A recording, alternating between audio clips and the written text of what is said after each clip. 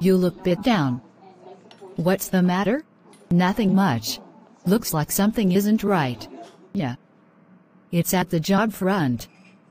You know that the telecom industry is going through a rough patch because of falling prices and shrinking margins. These factors along with consolidation in the industry is threatening the stability of our jobs. And even if the job remains, career growth isn't exciting. I know. I've been reading about some of these issues about your industry in the newspapers. So have you thought of any plan? I've been thinking about it for a while, but haven't concretized anything so far. What have you been thinking, if you can share?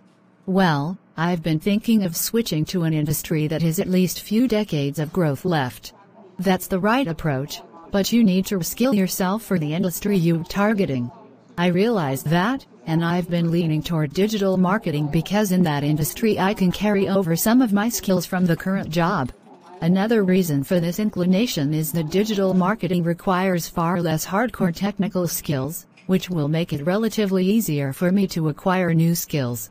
Your choice makes sense. So are you thinking of making the transition in near future? Not immediately. I need to keep the job, as I have EMIs to pay.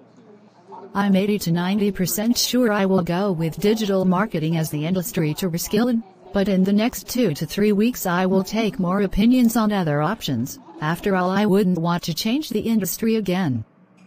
And once I finalize the industry, I will explore different options to reskill while keeping my current job.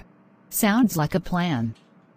If you need I can put you in touch with few friends who can help you finalize your future industry. That will be awesome. Thanks so much. You're welcome.